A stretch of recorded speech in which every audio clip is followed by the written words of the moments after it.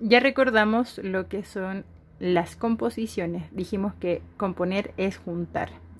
Vamos a recordar que son las decenas y las unidades. Recuerda, una decena es igual a 10 unidades. Recuerda que lo representábamos en barras. Entonces yo represento una decena, una barra. Y una barra tiene... ¿Cuántas unidades? Tiene 10 unidades. 1, 2, 3, 4, 5, 6, 7, 8, 9, 10. En esta barra hay 10 unidades, que son 10 cubitos.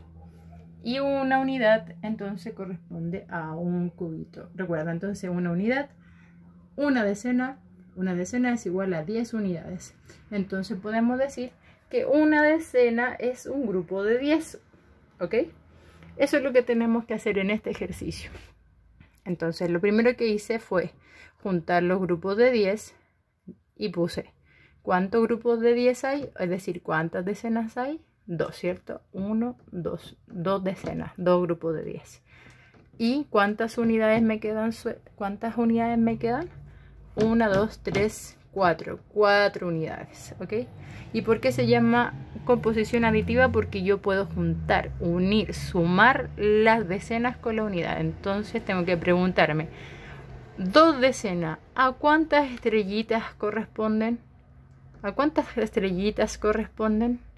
Aquí tengo 10 y 10. ¿A cuántas estrellitas corresponden entonces? A 20. 20, ¿cierto? Y aquí bajo directamente la unidad. Ahora yo puedo sumarlas y digo 20 más 4 es igual a 24.